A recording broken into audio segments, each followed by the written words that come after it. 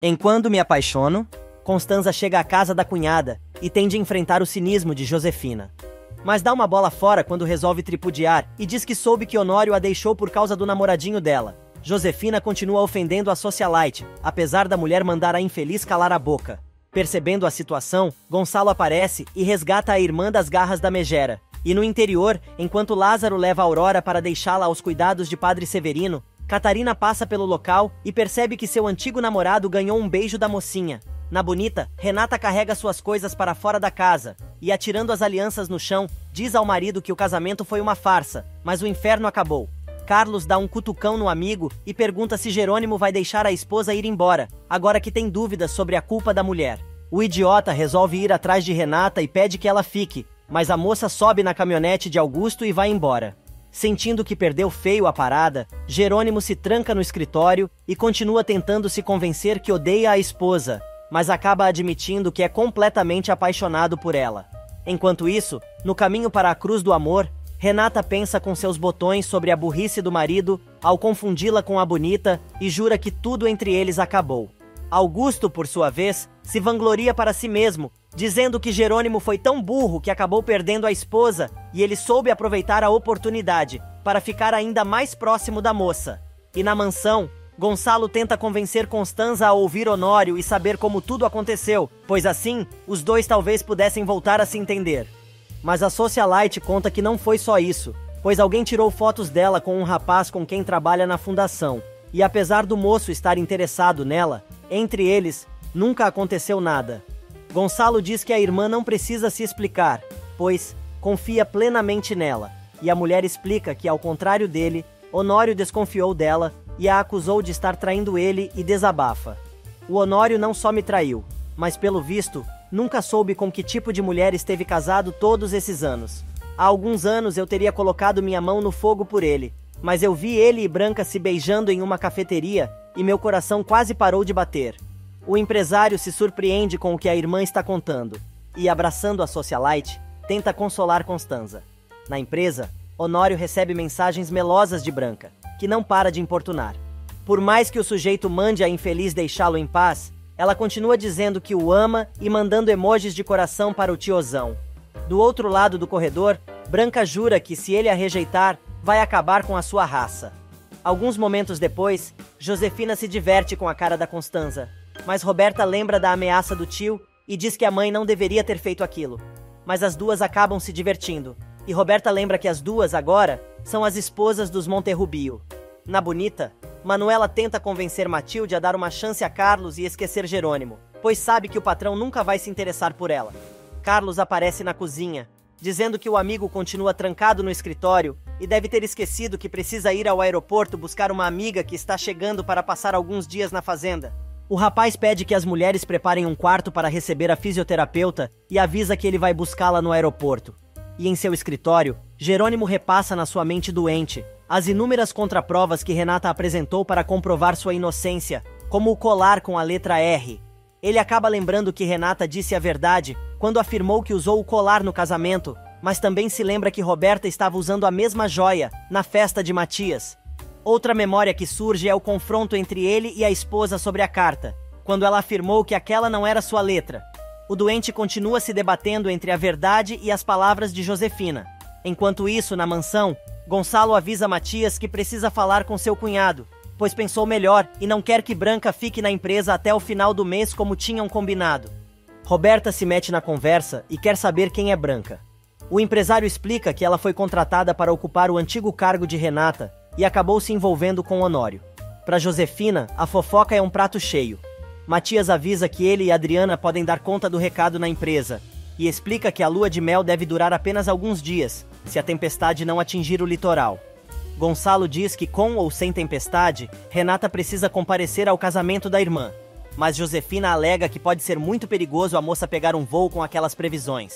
O empresário afirma que espera a filha e o genro na ocasião e conta que precisa falar com Jerônimo, pois não consegue entender porque ele escondeu que seu meio-irmão falecido era o Rafael Gutierrez e que esse rapaz tirou a própria vida.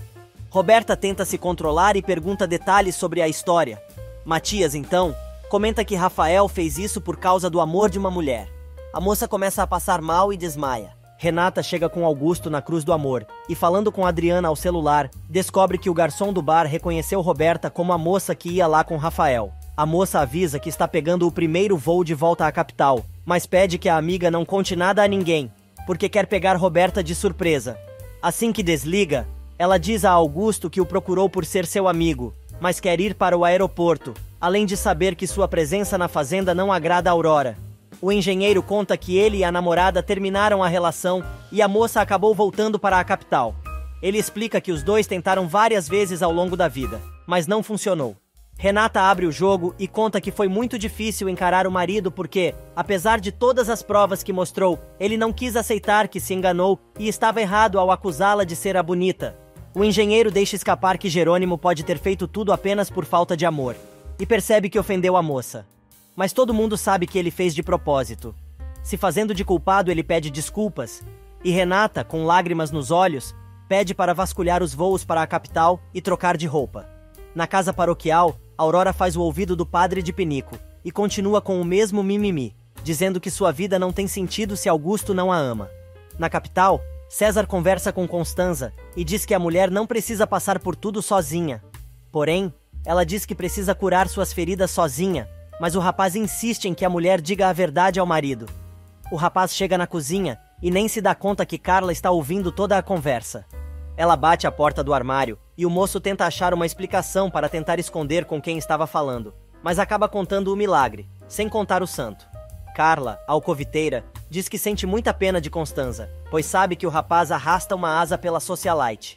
Nesse meio tempo, Regina chega ao aeroporto de Tijuana e é recebida por Carlos. Mas a mulher quer saber de Jerônimo e Renata. O rapaz não sabe o que dizer, pedindo que os dois vão para a fazenda, pois o próprio Jerônimo vai explicar tudo. Na Cruz do Amor, Augusto avisa Renata que os voos foram suspensos por causa da tempestade e vão levar cerca de 24 horas para normalizar a situação. O engenheiro resolve tentar alugar um avião particular para levar a amiga para a capital e avisa que vai com ela na viagem. Jerônimo, por sua vez, se afunda numa garrafa de vinho, lembrando de alguns momentos em que esteve com a esposa. Furioso, ele continua quebrando tudo no escritório e arrependido de ter perdido o amor de sua vida. Matilde continua matraqueando e irritando sua madrinha. Mas Manuela repete que os patrões se amam e a moça deve perder as esperanças. Na capital, o médico chega e examina Roberta. Ele explica à família que o problema da moça é o coração que, com a gravidez, parece não estar suportando bem. Porém, avisa que a moça não corre perigo, mas precisa se cuidar. Assim que todo mundo sai de seu quarto, Roberta comenta com a mãe sobre a morte de Rafael e acha que foi por ela. Mas Josefina diz à filha que o moço a abandonou e se tirou a própria vida só pode ter sido por Renata, pois os dois tinham uma relação secreta. Nesse meio tempo, Augusto avisa que não conseguiu alugar um avião, pois ninguém quer pilotar com aquele tempo, e diz que entende que Renata queria voltar para a capital, mas não sabe o porquê de tanta pressa. A moça explica que precisa desmascarar a irmã e impedir seu casamento com Matias. Augusto se coloca à disposição para ajudar, mas quer saber se Roberta e Renata se parecem fisicamente. Vendo o note do fazendeiro em cima da mesa, Renata pede para usar e mostra a foto da irmã para Augusto, que imediatamente reconhece a moça e lembra dela quando foi procurar Jerônimo no hotel em que estava hospedado na capital. Indignada, Renata diz que acha que Roberta sabia que Jerônimo e Rafael eram irmãos, e quando Matias voltou, Rafael virou um estorvo na vida da moça e ela deixou o noivo para ficar com o filho de Gonçalo e a fortuna dos Monterrúbio. Augusto conclui que Roberta passou a perna em Renata, mas a mulher jura que agora as coisas vão mudar. A tempestade começa no povoado. Regina chega preocupada na Bonita e pede para ver Jerônimo. Matilde diz que ele continua trancado no escritório e ela e Carlos decidem tentar entrar. Finalmente o sujeito abre a porta e ela diz que obrigou o agrônomo a contar tudo e cobra do amigo porque ele se casou por vingança. Se prometeu a ela somente se casar por amor. E enquanto Matias e Gonçalo tentam saber notícias de Renata e Regina, sem sucesso, a moça está confortavelmente sentada no escritório de Augusto, conversando sobre sua infância, enquanto o mundo cai do lado de fora. A moça comenta que gostaria muito de ter uma mãe amorosa como Regina, que perdeu a filha há mais de 20 anos e continua procurando por ela, e é justamente Regina que, depois de ouvir toda a história, coloca em dúvida as palavras da mãe de Renata, perguntando se Jerônimo conhece tão bem a mulher, a ponto de confiar nela cegamente, como está fazendo. O moço diz que viu a sogra poucas vezes e a fisioterapeuta então conta que não tem boas referências da mulher, comentando que Constanza sempre disse que Josefina nunca foi uma boa mãe, principalmente para Renata. Para deixar o amigo ainda mais confuso, Regina diz que acredita nos argumentos da esposa dele, pois lhe parece uma mulher sensata e de bom coração, além de extremamente apaixonada, lembrando que nem todas as mães são boas, e se fosse ele, contaria a moça que foi a mãe dela que envenenou sua cabeça. Enquanto isso, no povoado, Catarina vai, debaixo da maior chuva, levar plástico para Alzira tapar as janelas para não entrar água e pergunta se ela sabe o que Lázaro estava fazendo na casa paroquial com a namorada de Augusto.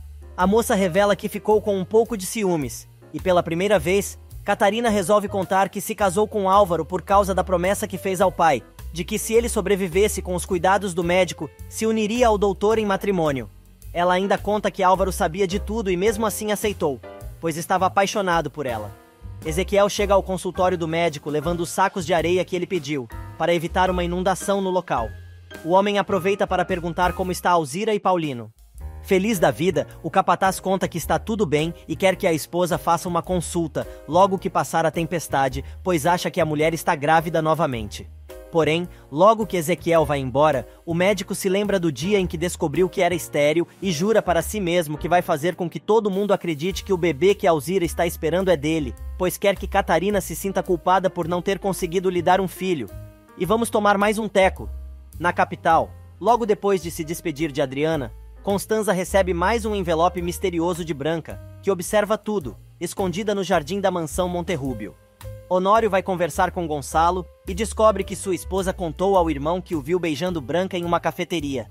O empresário, triste, confessa que está sofrendo muito por estar perdendo o grande amor de sua vida. E o cunhado afirma que, se ele está realmente perdendo a esposa, é porque se esqueceu da mulher com quem se casou.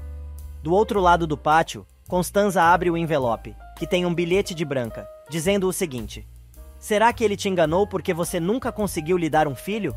Talvez eu e ele poderemos ter um e criá-lo juntos. No envelope, também tem um CD com as fotos da noite em que a maluca dopou Honório e passou a noite com ele. E no povoado, Lázaro conta à madrinha que salvou a vida de Aurora e a levou para a casa paroquial. Dizendo que o moço fez muito bem, Manuela tenta convencer o afilhado a aceitar a proposta do patrão que se ofereceu para pagar a faculdade do rapaz e ainda deixá-lo frequentar as aulas no horário de trabalho. Na Cruz do Amor, falta luz. Mas Augusto improvisa uma tábua de frios e uma garrafa de vinho, mas Renata avisa que é melhor ela não tomar nada, pois, da última vez, ficou bêbada. Mas na verdade, o cheiro e o gosto da bebida remetem a moça para mais uma de suas lembranças com o marido, que aliás continua trancado no escritório, lembrando da mesma coisa, do lado de fora, também sem luz, a galera improvisa com velas, mas o sino de emergência da cidade toca, e Lázaro avisa que os habitantes do povoado estão precisando de ajuda. Regina diz que entende um pouco de primeiros socorros e pode ajudar, mas o capataz avisa que é melhor ela não se envolver, pois é muito perigoso. Carlos e Regina começam a organizar a tropa e os mantimentos para levar ao povoado, enquanto os desabrigados começam a chegar à igreja, depois de terem perdido tudo. Padre Severino também está recebendo os feridos, enquanto Aurora tenta ajudar da maneira que pode. O sacerdote manda um dos rapazes ir atrás de Álvaro, enquanto Ezequiel, Alzira e Catarina chegam à igreja com provisões. Mas naquela noite, na mansão dos Monterrúbio, Roberta avisa a mãe que está se sentindo muito mal, e quando Josefina sai para pegar um chá, a moça começa a se contorcer de dor. Na casa da filha, Honório tenta falar com Constanza, mas a mulher não atende, Papo vai, papo vem. Adriana comenta que Branca disse que Honório é um homem que não se compromete com ninguém e não foi capaz de fazer isso nem mesmo com a própria esposa, e muito menos com sua mãe. O empresário se irrita e pede à filha que não deixe a tal mulher destruir também a relação dos dois, pois, pelo visto, tudo que Branca quer é que ele perca todas as pessoas importantes da sua vida. Na mansão, Roberta continua passando muito mal e sentindo muita dor, percebe que começou a sangrar. Josefina chega e se assusta. Ela quer saber o que está acontecendo e manda a moça ir tomar um banho, trocar de camisola, pois precisa descansar. Desesperada, Roberta agarra a mãe pelo braço e, chorando, grita: Você não está entendendo. Eu perdi o meu bebê. Mas a megera não quer entender e diz que a garota não pode perder o filho às vésperas do casamento.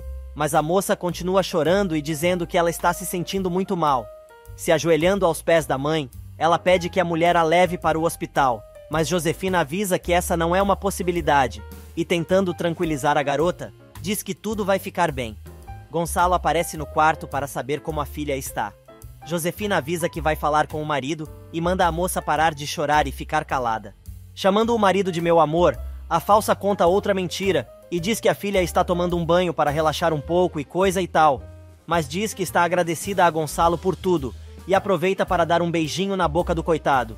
Assim que o marido sai, Josefina entra no banheiro e pergunta por que a garota ainda não foi tomar banho.